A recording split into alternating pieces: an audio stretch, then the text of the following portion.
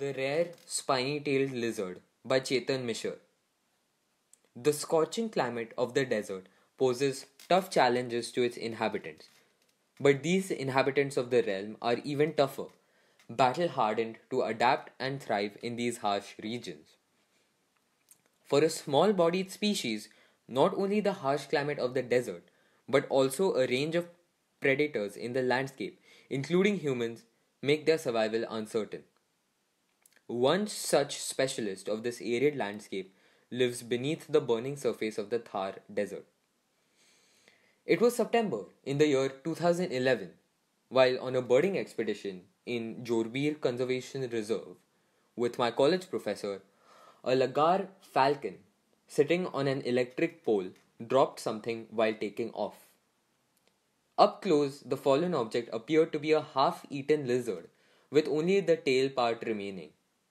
It was an Indian spiny tailed lizard, or the Saara hardwickii. Its thick tail, with lines of spiny scales, particularly grabbed my attention, and I wanted to see the lizard alive and intact at least one time in my lifetime. This wish to sight this amazing creature came true when I reached the Banni grasslands of the Kutch in Gujarat to study the Indian desert fox for my master's dissertation in 2014. Surprisingly, I found several individuals of the Indian spiny tailed lizards within the campus of our field station situated in the center of the village of Hodko in Banni. Even with the regular disturbance of visitors and movement of vehicles, these individuals bred and foraged in the same campus.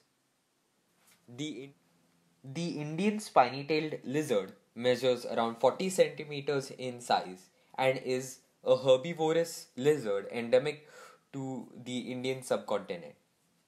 It is found among the arid and semi arid grasslands and deserts of western Rajasthan and the Kutch of Gujarat in India, and in the Thar desert parts of Pakistan. Some observations have reported scattered colonies of the Indian spiny tailed lizard from parts of Uttar Pradesh and the Sariska Tiger Reserve in eastern Rajasthan. Both regions fall out of the desert biogeographic zone. It is only herbivorous it is the only herbivorous lizard in India. The adult diet is strictly limited to herbs and grasses, while the juveniles have been reported to feed on insects along with other vegetation at times. The burrow of an Indian spiny tailed lizard is unique and can be distinguished from any other burrowing animal of the landscape by its entrance, which is in the shape of a crescent moon.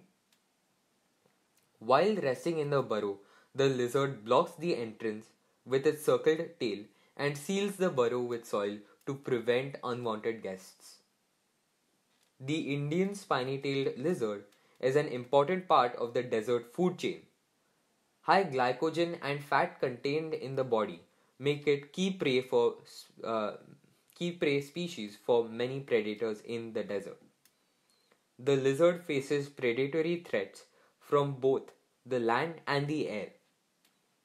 The landscape of the Indian spiny tailed lizard supports many resident and migratory birds of prey. The red sand boa, a common species of constrictor snake in the Thar desert, seems to be a major reptilian predator of the Indian spiny tailed lizard and has been frequently pulling out of the lizards pulling lizards out of their burrows to feed.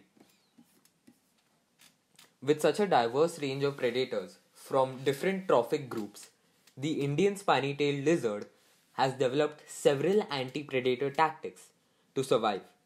Though the lizard does not have any offensive anti predator mechanisms, its colored coat is well mixed with the surroundings of the desert, making it hard for predator to spot. If the camouflage doesn't work against predators, the lizard relies on its speed to outrun the predators.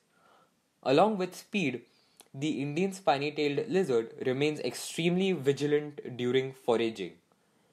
The lizard often forages in a proximity of their burrows and even a slight movement in the surrounding can make them rush back to the burrow.